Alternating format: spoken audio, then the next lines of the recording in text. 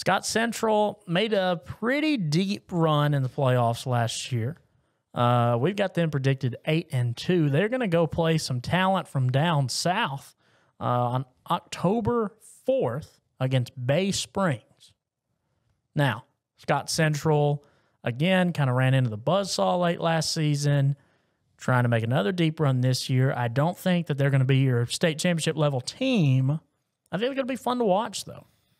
Yeah, they've definitely got some some talent on that team. Definitely have an opportunity to make a run.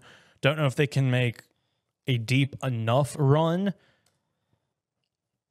but they have a lot of starters returning, which Yeah, is they- always a plus. You lose your lead rusher and uh, Tyquan Bounds, but otherwise, Pretty much got the rest of the stable back. yeah, you got just about your entire defense coming back.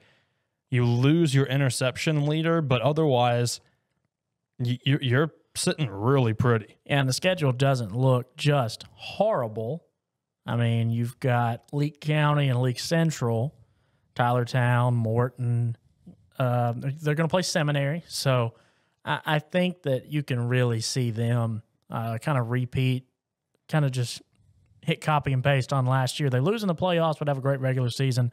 Everybody's pretty satisfied, and everybody goes home happy with some juice boxes and some orange slices. Be sure to listen for the name Marquavious Bradford. 13 tackles last year. He'll be a senior this year, middle linebacker. Dude could. You need someone to stop a play. Don't send it towards him. 13 tackles or 13 TFLs? 13 tackles a game, excuse Oh, me. 13 tackles a game. A game. Okay, I was going to say 13 tackles over the season.